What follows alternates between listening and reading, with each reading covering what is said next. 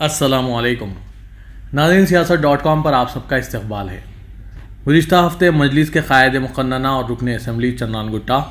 अकबरुद्दीन अवेसी ने तेलंगाना के ज़िला करीमनगर के एक जलसे आम से खिताब करते हुए पंद्रह मिनट का ज़िक्र किया था, जिसमें अकबर ओवैसी ने कहा था कि पंद्रह मिनट का डर आज भी आरएसएस के दिलों में खौफ बनकर उभर रहा है। इनके इस बयान के खिलाफ आज कोठी चौराहे पर बजरंग दल और विश्वा हिंदू परिषद की जानब से एहतजाज किया गया और अकबरुद्दीन अवैसी का पुतला नज़र आतिश किया गया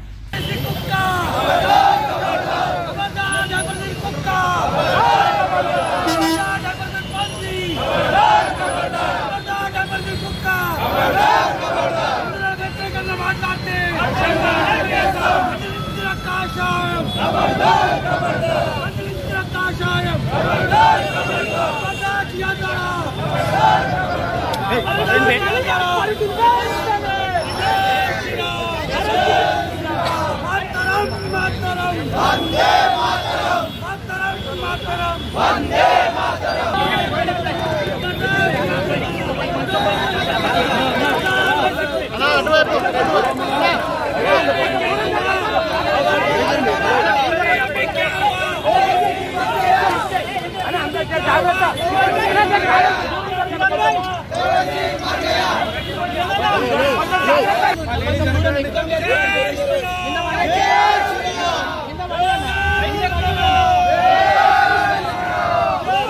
Oh!